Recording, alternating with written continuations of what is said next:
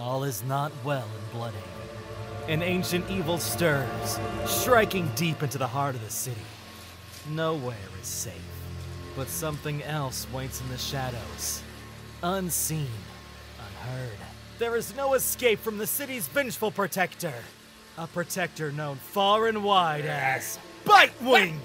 Haley, aka Bitewing, Dick's puppy. Fearlessly, she charges into battle, with no heed to her own safety. She will protect this city no matter the cost. She attacks. Such beauty, such grace, such power! Dick. Never before has the city witnessed a hero with such beautiful paw. Dick!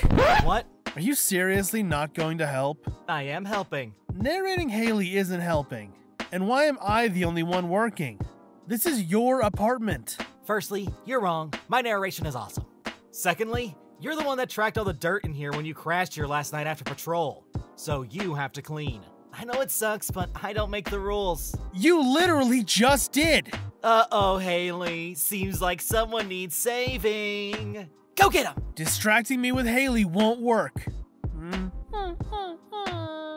You are too cute for your own good. You know that, right? Thank you! I could not have been more clearly talking to the dog. Who's a good girl? Well, we're both extremely bribable with peanut butter, aren't we, Haley? Come on, let's go get some food. You can finish cleaning later. You mean we can finish cleaning later? Nope, don't think I did. Ugh, come on.